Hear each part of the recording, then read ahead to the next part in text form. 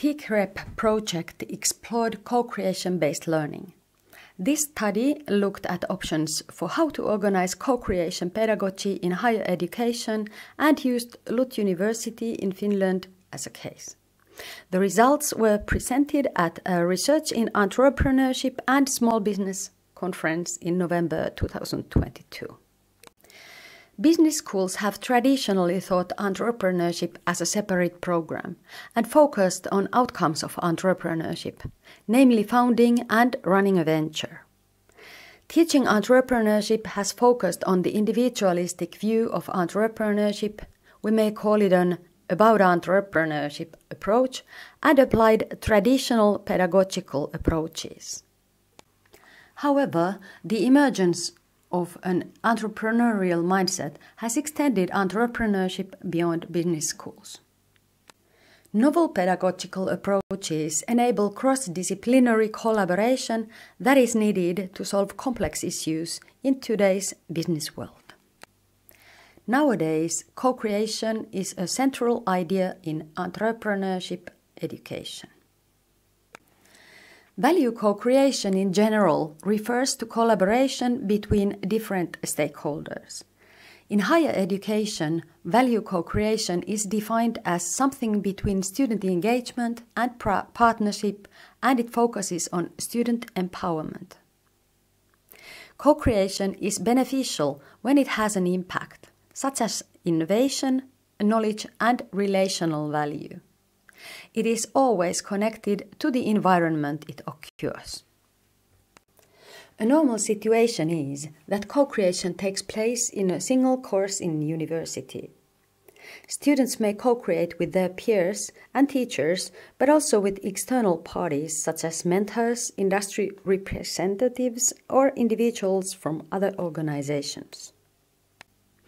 However, co-creation can be extended to different partners, locations and practices, varying in educational environment, duration and number of involved parties. The outcome of co-creation is important not only as ends and means of learning, but also as a contribution to society.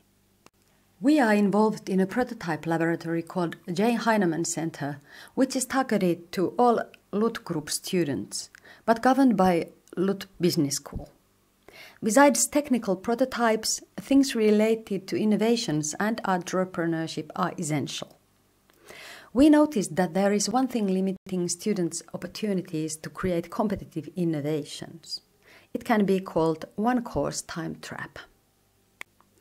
In educational institutes, studies are divided into courses.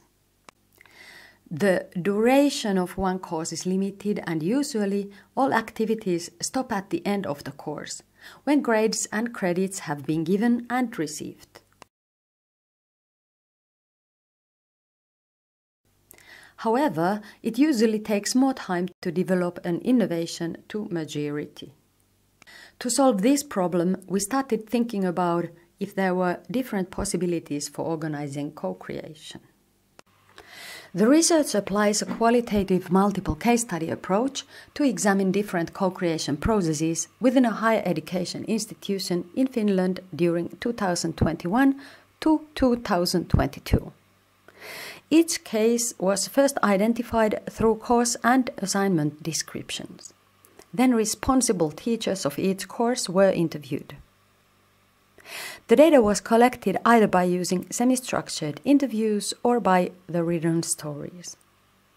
It includes interviews with responsible teachers with different course modules, as well as other written materials, including class and assignment descriptions.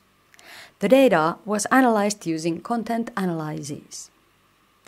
The results show that co-creation can take place in different learning contexts and environments. Students may co-create within one or several courses simultaneously or in consecutive courses. A certain environment, physical or virtual, or a large project platform can also connect projects, courses, and people and give opportunities to co-create not only planned tasks but also something bigger. However, the more actors and different schedules are involved, the more advanced and facilitated form of co-creation is required. You can see an example of such a platform project in, a, in the photo here.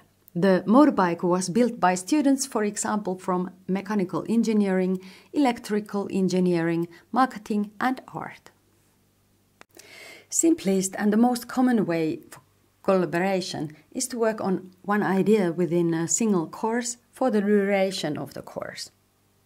There is a clear purpose for co-creation with a start and end to a co-creation project. Course participants can be from several universities and disciplines, and there could also be partners such as mentors from the industry involved.